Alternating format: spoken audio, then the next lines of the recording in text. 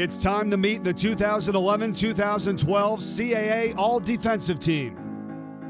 Kent Bazemore earns All Defensive Team honors for the third year in a row. The senior guard ranked second in the CAA and among the top 25 in the nation with 67 steals. He was also the Monarchs' second leading rebounder with nearly six per game. Kent Bazemore of Old Dominion.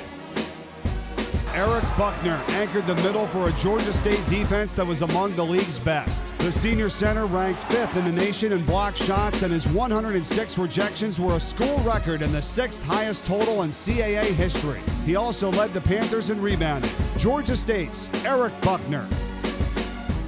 Jamelle Hagins is a repeat selection to the all defensive team. The junior forward led the league and ranked fourth in the nation with over 11 rebounds per game. He was also second in the CAA and 13th nationally with three block shots per game and set UD's career blocks record. Jamelle Hagins of Delaware.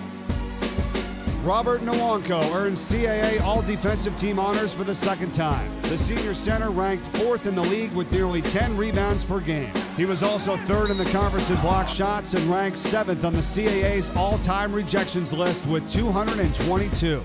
Robert Nwankwo of Towson. Briante Weber made life difficult for opposing backcourt players. The Rams rookie guard led the CAA with 71 steals and topped the nation in thefts per 40 minutes. He had at least one steal in 29 of VCU's 31 games and made at least four thefts nine times. From VCU, Briante Weber. Ladies and gentlemen, please congratulate your CAA All Defensive Team.